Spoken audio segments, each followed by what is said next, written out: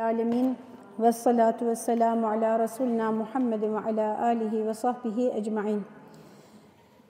Saat suresinde 25. ayet-i kerimedeyiz. 24-25.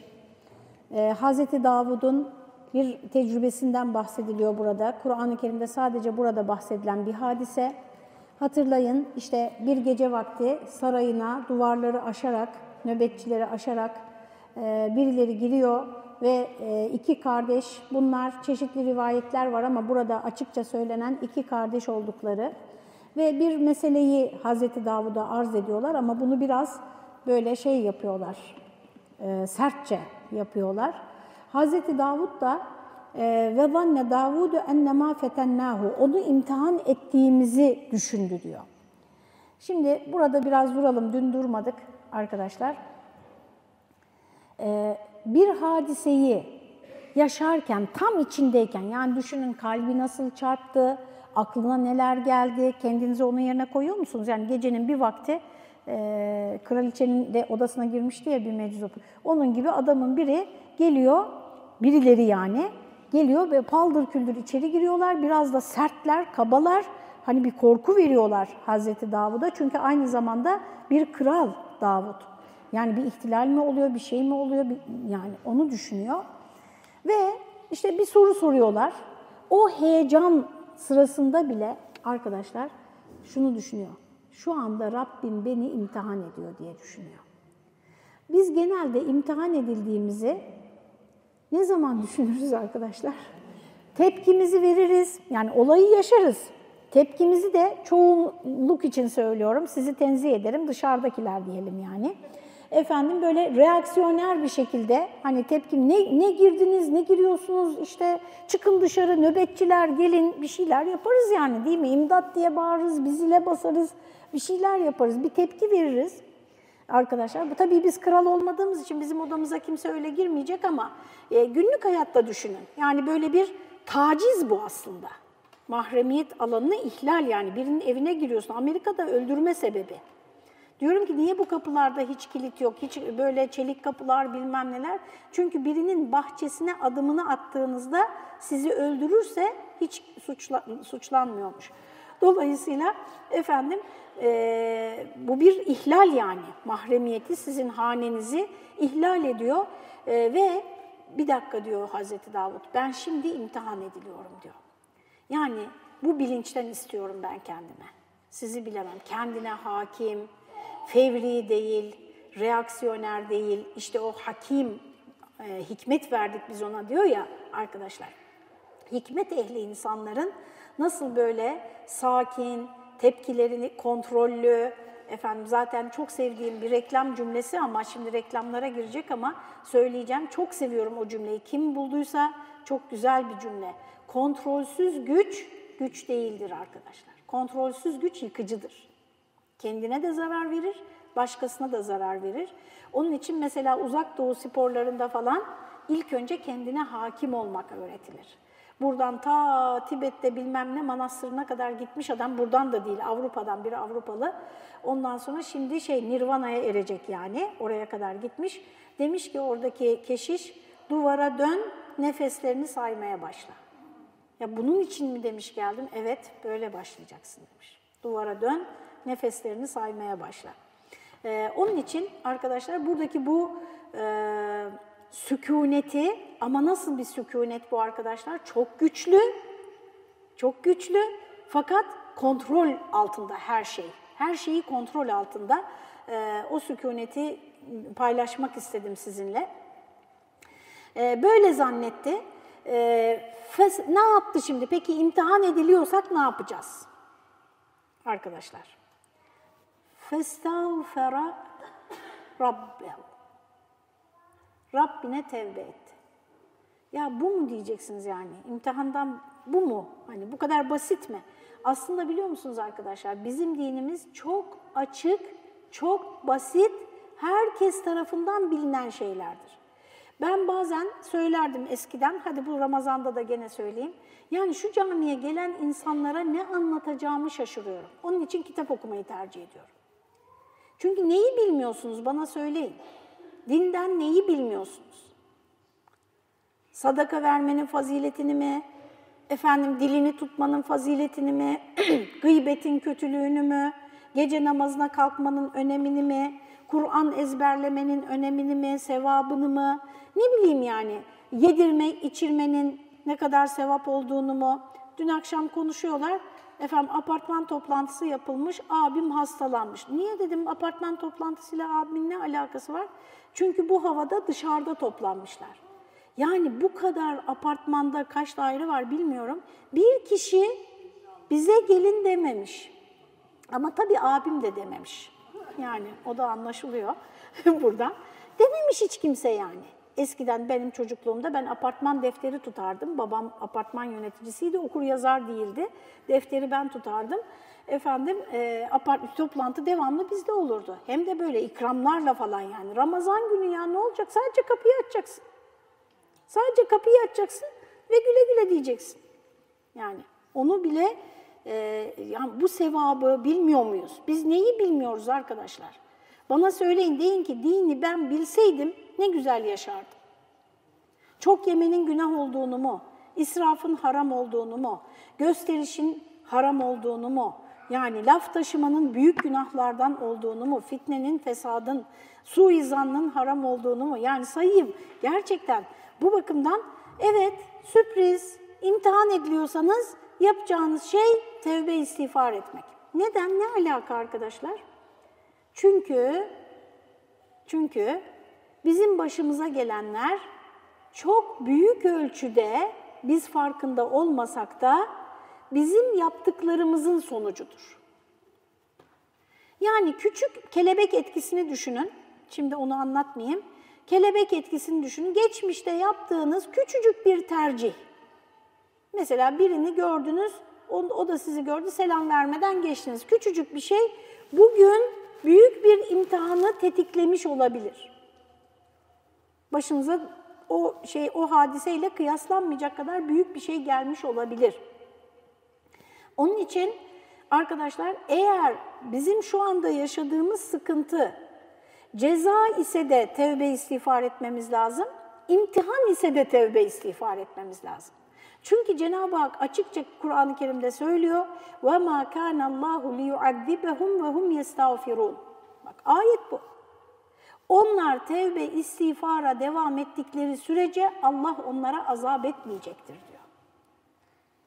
Bir de helakla ilgili söyleyeyim. Bir de emri bil maruf arkadaşlar. Emri bil marufa devam edildiği sürece bir toplumda yani kötülük kötülük olarak bilinip iyilik iyilik olarak bilindiği sürece bunun aslında altında o vardır. Ee, o topluma Allah mühlet verir. Ne zaman helakı hak eder arkadaşlar bir toplum? Kötülük iyilik olarak görülmeye başlandığını. Yani normal. Kötülük normalleştiğinde. Hazreti Lut'tan hatırlayın, Hazreti Nuh'tan hatırlayın, Şuayb Aleyhisselam'dan hatırlayın. Yani ticarette aldatmak normal olduğunda, dürüst ticaret çok istisna olduğunda, İlişkilerde geçen gün size söyledim ya sonra onu başka bir grupta gençlere söyledim. Dediler ki evet ya ben de bir onura oldum yani gençlerin düşünmediği, akıllarına hiç gelmeyen ve söyleyince de doğru bulduk, buldukları bir şey bulmuşum yani. Arkadaşlar sahte ilişkilerde ortak zemin kurulamaz. Yani ben size sahte davranıyorsam, yapmacık davranıyorsam, siz de bana yapmacık davranıyorsanız bir ortak birlikte hareket edebileceğimiz bir ortak zemin bulamayız. Ortak zemin nerede bulunur arkadaşlar? Samimi ve gerçek ilişkilerde. Neden biliyor musunuz? Çünkü ben insanım, sen de insansın. Benim ben bir samimi davrandığımda o mutlaka senin kalbinde bir şeye karşılık gelir. Mutlaka. Ama ben yapmacık davrandığımda, sen yapmacık davrandığında ne oluruz biliyor musunuz arkadaşlar? Trans, transhuman diyorlar buna şimdi. Giderek robotlaşırız, giderek işte oraya doğru da gidiyoruz zaten. Gerçek insanı bulamazsınız. O böyle lambayla Diyojen arıyormuş ya, boşuna değil onlar işte. Gerçek bir insan. Yani söylediği gerçek. Geçen gün, mesela şunu ben söylemek zorunda kalıyorum. Bu benim, acaba ben, ben mi evhama kapılıyorum. Siz bana söyleyin de kendimi düzelteyim. Bu kadar kişinin onayı veya itirazı çok kıymetli.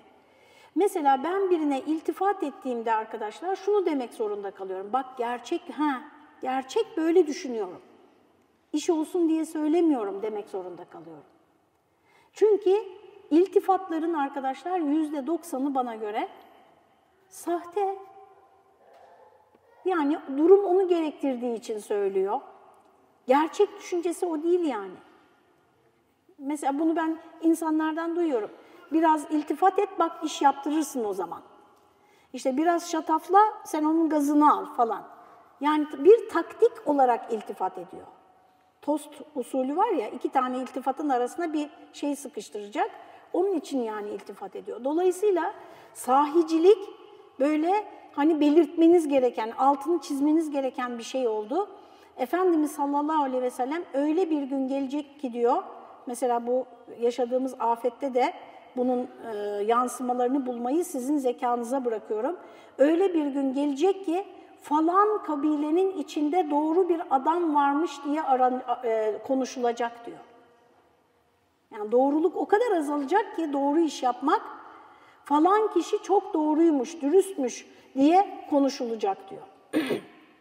Adamın biri diyor ki videoda, ben diyor bu evimi yaparken diyor, e, usta diyor çok fazla demir kullandı. Ben de çok kızdım o zaman. Ne yapıyorsun ya? Bana niye bu kadar masraf ettiriyorsun? Dedim diyor. Üç katlı mı? Ha. kullanmış demiri ocağıymış. Ha. Ondan sonra e, şimdi diyor gidip bulmam lazım onu, teşekkür etmem lazım diyor. Yani doğru insanlar böyle hani niye bu kadar abartıyorsun? Bir işi doğru yaparsanız bir de o oluyor biliyor musun? Şimdi park ediyorsun bir yere. E, dün akşam öyle ben park ettim arkadaşlar. Evet geçilir ama hani beşer santim kalıyor iki arabanın arasında. E, ezan okunuyor. Efendim olmaz yani. Bunu bir, tekrar bineceksin. Onu düzelteceksin yani. Bunu yaparsan takıntılı mısın? Sen park takıntılısısın diyorlar. Bunu, bunu niçin yapıyorum?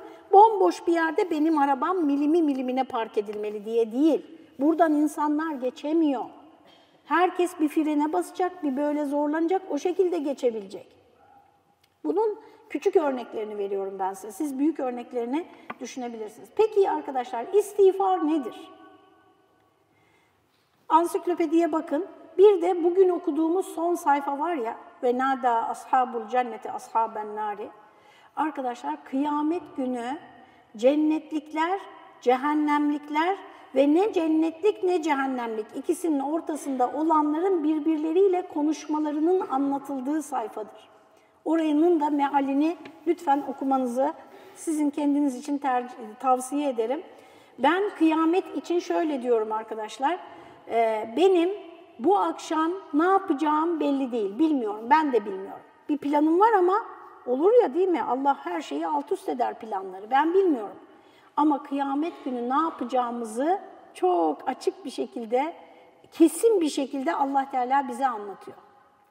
İşte en başta anlattığım o müflis kişilerin durumu gibi. Evet, istiğfar arkadaşlar günahın Allah tarafından örtülmesini talep etmektir. Ee, ve tevbe ile olur. Yani tevbe ile birlikte olur. Çünkü tevbe dönmek demektir günahtan. İstiğfar da e, Cenab-ı Hakk'ın o günahın izlerini, sonuçlarını, hesabını kıyamet gündeki örtmesi, onu yok sayması, silmesi talebidir. E, ve Nisa suresinde veleysetit tevbetu innemet tevbetu diye başlayan ayetler var. Bakarsınız oraya da. Tevbe arkadaşlar günahları işleyip işleyip işleyip de Azrail'i görünce yapılan tevbe değildir diyor Cenab-ı Hak. E, tevbe bir günah işlediğinde suen bir günah işlediğinde hemen kendine gelip toparlanıp dönmektir. O günahtan dönmektir. Peki takva sahipleri günah işler mi arkadaşlar? Ali İmran suresinde takva sahiplerinin anlatıldığı bölümde e, bilmiyorum ayet numaralarını efendim onlar bir günah işlediklerinde hemen Allah'ı hatırlayıp günahlarından tevbe ederler diyor. Yani takva sahibi demek hiç günah işlemez demek değil, günahta ısrar etmez demek. Çünkü bir, bir insanın hiç günah işlememesi mümkün değildir. Bunun örneği de Kur'an-ı Kerim'de peygamber kıssalarıdır. Onların bile hataları, zelle miktarı da olsa hataları anlatılıyor açıkça hem de. Ben en çok Hazreti Adem'den dehşete kapılıyorum yani onun kıssasından. Arkadaşlar bir tane hata yapmışsınız, kıyamete kadar bütün kitaplarda anlatılıyor. Yani mesela şunu kimse sormadı bugüne kadar. Allah settar değil mi? Hazreti Adem'i niye böyle ifşa ediyor? Yani settar. Hani peygamberlere Musa adam öldürmüş. İşte öbür e, Yunus aleyhisselam görev yerini terk etmiş. Anlatılıyor. Bir de böyle azarlarcasına bazı ifadeler var. E, Velem necid lehu azma diyor mesela. Biz onda azim göremedik diyor Cenab-ı Hak. E, yani bu hani o peygamberler için zor bir durum değil mi? Arkadaşlar onun anlatılması, Hazreti Adem'in o kıssasının anlatılmasında bizim için var olan hikmetleri, e, yani oradan aldığım ferahlığı size anlatamam. Bak ferahlık duyuyorum ben o olayları okuduğumda. Sahabenin birbiriyle yaptıkları çekişmeleri falan okuduğumda da ferahlık duyuyorum. Savaşlarını okuduğumda da ferahlık duyuyorum. Niye ferahlık duyuyorum? Çünkü onlar bize melek olarak anlatılmıyor. İşte Hristiyanlar bunu yaptılar arkadaşlar. İsa'yı tanrılaştırdılar. Kusursuz biri olarak, tanrısal biri olarak anlattılar. Kendileri de onun gibi olabilmek için ya evlenip çoluğa çocuğa karışarak dindarlık olmaz dediler, ruhbanlığı icat ettiler. Yani küçücük bir sapma dini konularda açının çıkış noktasında 5 derecelik bir sapma açının kollarının vardığı yerde kilometrelerce sapma demektir. Onun için arkadaşlar inançlarımız çok düzgün, kafamız çok düzgün, çok sağlam olursa evelallah hatalarımızı da kabul ederiz, hata yapmayız değil. Kabul ederiz, tevbe ederiz, efendim dua isteriz. Mesela bize hatamızı söyleyen biri, birine deriz ki ya evet, ya ne olur dua et, ben de bunu sevmiyorum, ben de bununla mutlu değilim. Ne olur dua et yani ben kurtulayım bundan deriz. Bir şey olur, bir kıvılcım çakar orada. Anlatabiliyor muyum? Ha bu arada arkadaşlar, bu da benim takıntılarımdan biri. Belki 7-8 sefer anlattım şimdiye kadar. İdare edin yani. Hep sizin mi takıntılarınızla hoca uğraşacak? Biraz da hocalar. Benim takıntılarımdan biri de şudur arkadaşlar. Gençlerin çok kafasında kesinlikle böyle olmalı dediği bir konu var. Ben o öyle olmak zorunda değil diyorum. O da ne? Bana hatamı söyleyen biri arkadaşlar kaba bir dille söylerse ne yapacağım? Gençler diyor ki olmaz. Kaba bir dille söylüyorsa ben reddederim onu. Hayır arkadaşlar. Ben kabalığı reddederim, hatayı kabul ederim. Yani derim ki keşke böyle söylemeseydin, keşke daha nazik söyleseydin ama doğru söylüyorsun. Çünkü arkadaşlar haki, hakkın hatırı alidir. Hakkın hatırı alidir. Sana birisi hakkı hatırlatıyor ya. Sana birisi diyor ki bu yanlış. Bu çok kıymetli bir şey. Bu çok kıymetli bir şey. Bana mesela bazı çocuk Kur'an kursu hatıraları falan var insanların. Kötü hatıralar. Benim de kötü hatıralarım var Kur'an kursuyla ilgili. Ama arkadaşlar orası bana Allah'ın dinini anlattı, sevdirdi, öğretti. Yani öyle büyük bir vefa duyuyorum ki o hocalarıma ben o yaptıkları eski kafayla yani yaptıkları bir takım şeyler veya insani, beşeri hatalar görmüyorum. Çok genç bir öğrenciyken görmezlikten geliyorum yani umurumda değil orası. Görmüyorum değil, gerizekalı değilim tabii ki görüyorum. Ee, bu da bir hakaret, evet.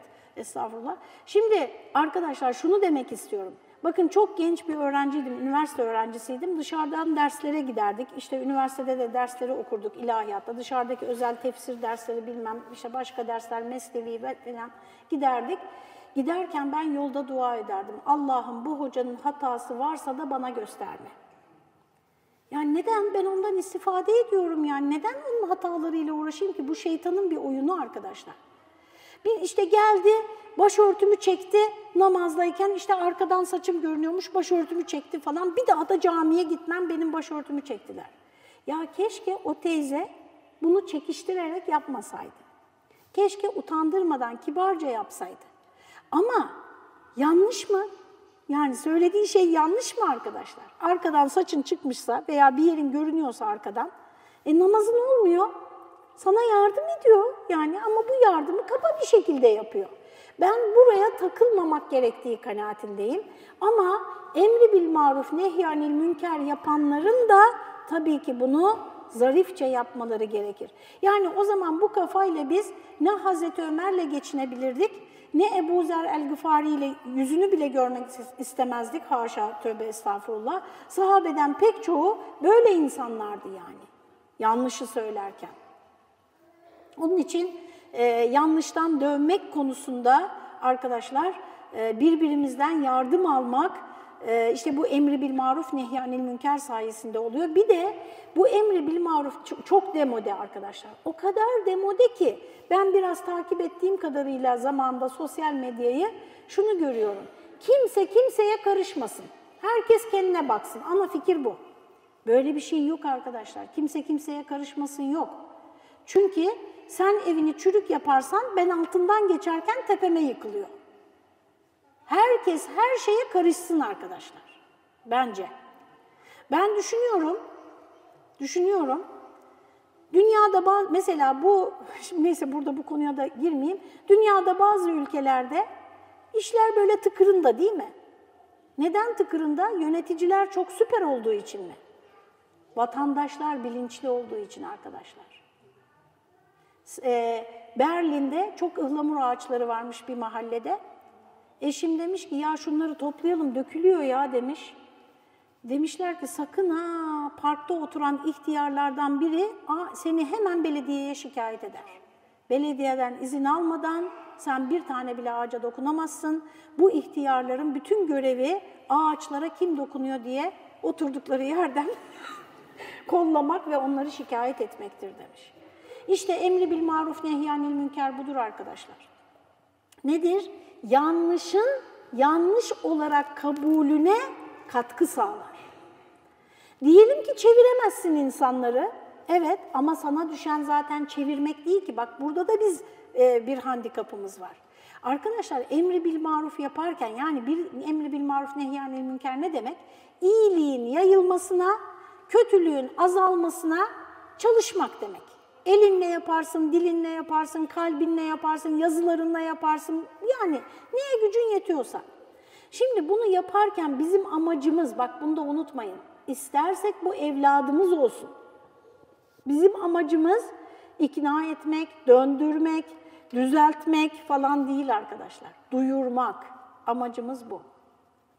O sana ne derse sen bilirsin. Ben görevimi yaptım diyeceğiz. Peki bir kere yaparsak yeter mi? Bu da çok söylenen bir şey. Hayır arkadaşlar, hayat boyu yapmamız gerekir. Hayat boyu, dün Haluk Hanım'ın hatırasını size anlattım. İşte öyle bilinmemiz gerekir toplumda yani. Bunun yanında yanlış yaptırtmaz bize diye. Ha dostumuz kalmaz falan diyeceksiniz. Hiç de öyle değildi rahmetli Haluk Hanım değil mi? Çok çevresi geniş bir insandı. Evet Emine Hanım da şimdi ortak dostlarımız. Birer birer gidiyorlar ya dostlarımız. Ee, şey diyorum ön safta biz kaldık yani önümüz açıldı diyorum Azrail'le karşı karşıya kaldık. Allah hepimize iman selameti versin.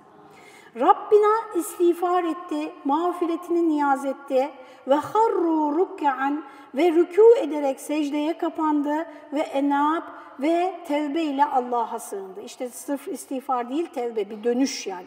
İstiğfar Allah'ın affını dilemek, tevbe ise oradan senin dönmen.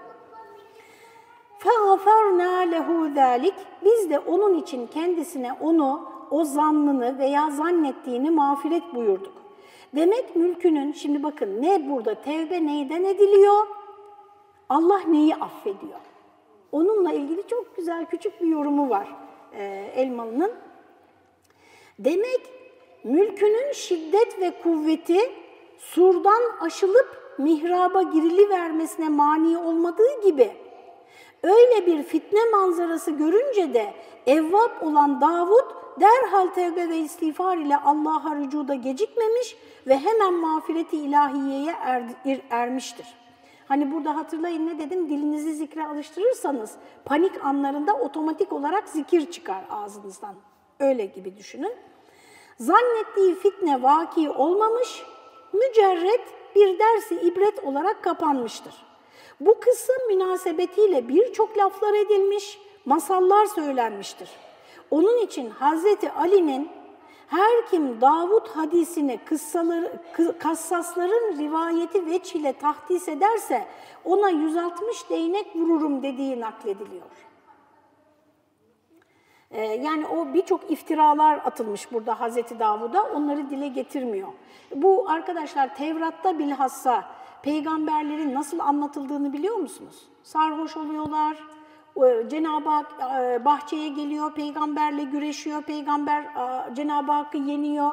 Böyle işte ne bileyim e, saç günahlar işliyorlar, yanlışlar yapıyorlar. İnanılmaz bir şekilde normal bir insana bile yakıştıramayacağımız hallerle anlatılıyor.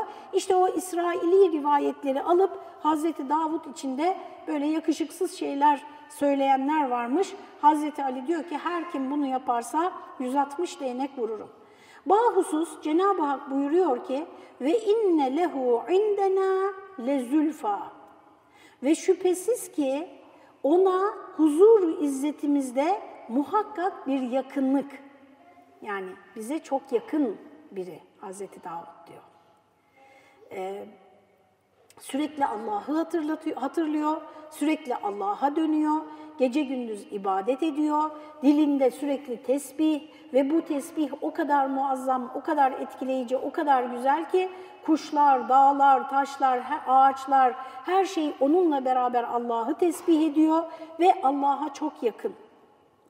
Ee, arkadaşlar Kur'an-ı Kerim'de de geçti, tekrar edeyim. Yani metinde geçiyor ama metin okurken mealle takip eden var mı aranızda? Bak yapabiliyorsanız onu da yapın arkadaşlar. 2 3 kişi gördüm şu ana kadar. 3 4 5 kişi evet. Onu yapabiliyorsanız yapın. Ee, Kur'an mealini de şöyle baştan aşağı süzmüş olursunuz. Efendim orada da geçti. Ne geçmişti? Ne diyecektim? Ee, zikri söyledim. Neyse. Ee, ağaçlar, dağlar, taşlar Hazreti Davut'la beraber zikrediyor arkadaşlar. Ee, o dilin otomatikleşmesi, heh şunu söyleyecektim, Kur'an-ı Kerim'de geçti. Ee, münafıkları anlatırken geçti arkadaşlar. Münafıkların özelliklerinden birisi de birçok özellikleri anlatılıyor Nisa suresinde ve Münafikun suresinde. Çok yoğun olarak münafıkların özellikleri anlatılır. Nisa suresi bilhassa yani çok yoğundur. Böyle e, büyüteçle görmüş gibi tanırsınız arkadaşlar münafıklığı. O ayetleri böyle e, teemmül etseniz. E, özelliklerinden bir tanesi de şudur. Oturursun, konuşursun, saatlerce bir kere bile Allah'ı anmaz. Bu münafığın özelliğidir. Yemek, içmek, giyim, kuşam, eğlence, gezmek, dünya, neyse yani. Hiç din, Allah, ahiret hiç geçmez. Bunun, e, bunu bizim atalarımız arkadaşlar otomatiğe bağlamış. Şahane yapmışlar. Mesela şimdi bir arkadaşım bana bir şey anlatıyor. Allah sabırlar versin, Allah yardım etsin. Allah'ım bu dünyanın üstü varsa altı da var. Bak sen öyle yapma, şöyle yap. E sen aldırma, üzülme falan. Allah büyüktür. Bak arada da onu. Ne kadar çok biz yani muhabbet içerisinde Allah'ı anmak demek vaaz nasihat demek değil. Allah'ı anmak demek açık Kur'an okumak o insana değil illaki. O konuşmanın içine o akışa yerleşmesi lazım. Asıl iman da budur arkadaşlar. Asıl iman tezahürü budur. Çünkü bir olayı yaşarken o olaya senin iman perspektifinden baktığını gösterir. O açıdan baktığını gösterir. Mesela benlik açısından baksaydın başka şeyler söyleyecektin. Kendini ezdirme, deli misin? E, siz böyle alttan ala ala zaten böyle oldu. İşte bilmem ne böyle şeyler söyleyecektin. İman perspektifinden bakınca bunu da söylersin, kendini ezdirme. Çünkü onu da bugün okuduk. Duada geçti. Peygamber Efendimiz Allah'a sığınıyor. Ben kimseye zulmetmeyeyim, kimse de bana zulmetmesin diyor. Ben kimseye zulmetmeyeyim, herkes bana zulmetsin, o Hristiyan ahlakıdır arkadaşlar. İslam ahlakı ben kimseye zulmetmeyeyim, kimse de bana zulmetmesin. Söyle yani ezdirme de Ama de ki ya dua et bak Allah güç verir insana. Sen bir adım at Allah on adım gelir. Yani onu imanla söylersin. Onu da imanla birleştirerek Allah'ın yardımını talep ederek söylersin. İnanan insan, arkadaşlar iman da imansızlık da bir kabın içindeki e, yemek gibidir. Kokusu dışarıya taşar arkadaşlar. Evde kara lahana pişmişse de bilirsiniz, gül reçeli yapılmışsa da bilirsiniz. Yani her kap içindekini taşırır. İmanlı insandan iman taşar, imansız insandan imansızlık taşar. Cenab-ı Hakk'a çok yakın Hazreti Davud ve husne me'ab bir de me'ab güzelliği var. Yani onun dönüp geleceği yer çok güzel diyor. Me'ab dönüp gideceğimiz yer demek. Akıbet varacağı güzel bir merci, cennette güzel bir makam vardır. Onun için kendisine şöyle hitap edildi. Şöyle hitap edildi Davut Aleyhisselam'a 26. ayet. Ya Davudu inna cealnake halifeten fil ard. Ya Davud muhakkak ki biz seni arzda bir halife kıldık.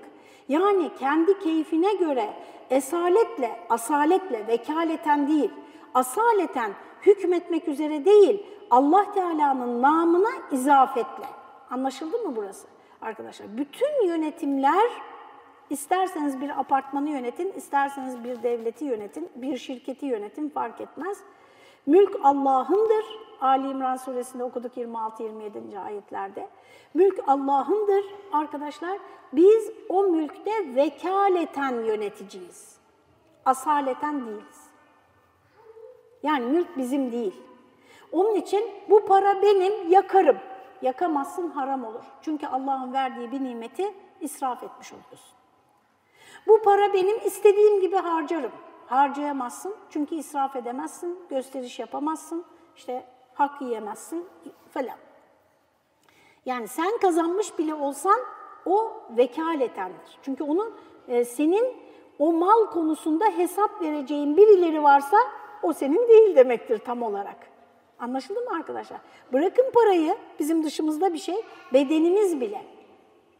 Bu e, Nazife Şişman'ın kitaplarını okuyun gençler. Emanetten mülke, yeni insan bunları okuyun. Zihniyet değişti. Bakın benim bedenim demek dine aykırıdır arkadaşlar. Size açıkça söylüyorum. Benim bedenim değil. Allah'ın yarattığı bir sanat eseri. Ben onu emaneten bu dünyada taşıyorum. Dolayısıyla ben bedenimin sahibi değilim. Ona aklıma estiği gibi davranamam. Kürtaj buradan çıkıyor, efendim şeyler, estetik operasyonlar buradan çıkıyor, cinsiyet değiştirmeler buradan çıkıyor. Hepsinin temelinde bu fikir var. Bu beden bana ait fikri var. Bu hayat bana ait fikri var. Tam tersine arkadaşlar eskilerimiz gerçekten kendilerine ait olan bir şeyi bile söylemeye utanırlarmış. Yani bu ev benim diyemezlermiş mesela. Emaneten oturuyoruz derlermiş. Bir arkadaşım öyle bir hatırası var. Şimdi dar vakitte anlatmayayım. Birisine gittim diyor. Çok güzel bir ev. Çok iyi düşünülmüş her şeyi. Efendim sizin mi dedim diyor. Emaneten oturuyoruz dedi diyor. Ben de zannettim ki başkasının evi de onlar bekçi gibi hani kalıyorlar. Çok mahcup oldum hani zor durumda bıraktım diye diyor. Sonradan öğrendim onlarınmış meğersem ev diyor. Yani benim evim bile diyemiyor. O terbiyeden Şimdi nereye geldik? Benim bedenim açarım, regil, regil olduysam da ilan ederim. İşte bilmem ne yaptıysam da istediğim gibi hareket ederim. Bu, bu davranışların arkadaşlar, bakın davranışlarla mücadele etmek, sineklerle mücadele etmek gibidir. Asıl bunların altındaki zihniyetle mücadele etmemiz gerekir. O bunun altındaki zihniyet bedenin bana aittir zihniyetidir. Bizim bunu, bu emanet bilincini tekrar var etmemiz gerekir ama ama eğri oturup doğru konuşalım arkadaşlar. Ee, sahip olduğumuz hayatı yani mal, mülk, çoluk, çocuk her neyse yani bunları emanet olduğu hissini verebiliyor muyuz gençlerimize? O evdekilere yani. Kolumuzu şöyle atıyoruz. Çocuğu şu okula verdim, şunu da şöyle yaptım, bunu da böyle yaptım, burayı da şöyle yapacağım filan.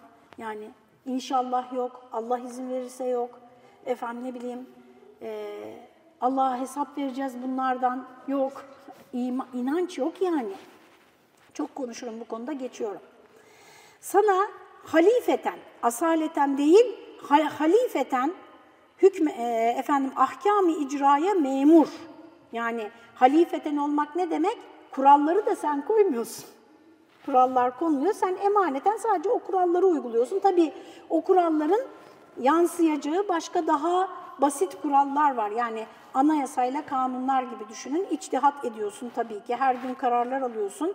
Ama orada vekaleten olduğunu unutmayacaksın. Hesap vereceğin bir yer var ve anayasa onun e, istediği temel şeylere uygun olmak zorunda senin hattı harekatın. Adem'in hilkatinin hikmeti de buydu. Şimdi seni yeryüzünde halife kıldık. Fahkum beynen nasi bil hak. İnsanlar arasında hakla hükmet. Zira hilafetin manası budur. Ve la tettebi'il heva. Hakla hükmetmenin zıttı arkadaşlar hevaya tabi olma. Heva dediğine nefsin arzuları yani dürtülerimiz, şeytani tarafımız, e, hayvani tarafımız bunlara tabi olma.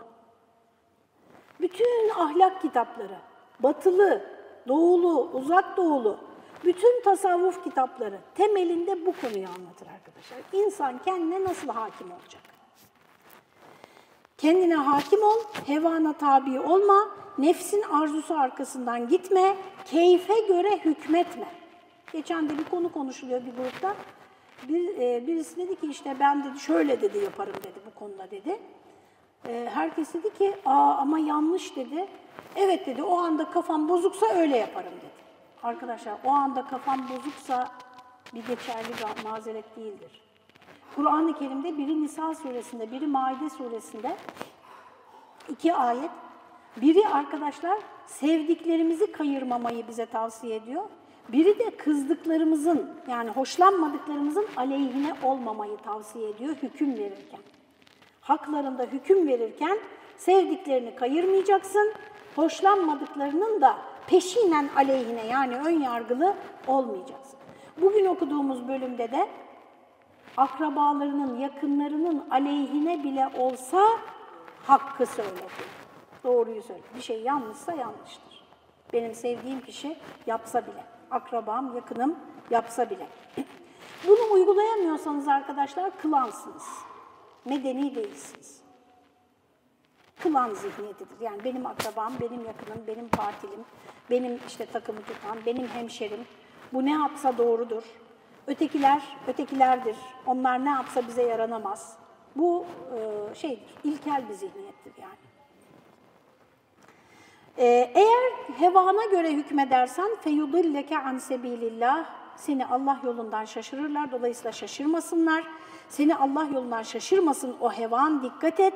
İnnellezîne yudillûne an sebilillah çünkü Allah yolundan sapanlar firavunlar gibi hüküm kendilerinin zannederek Allah'ın ahkamından başkasını tatbike çalışırlar.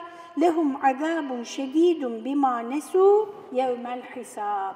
İşte bu gibiler hesap gününü unuttukları için onlara şiddetli bir azap var diyor. Böylece Saat suresini arkadaşlar o bölümü e, bitirmiş olduk. Allah izin verirse yarın Zümer suresini göreceğiz arkadaşlar. Zümer suresinden de 53. ayetten 63. ayete kadar olan bölüm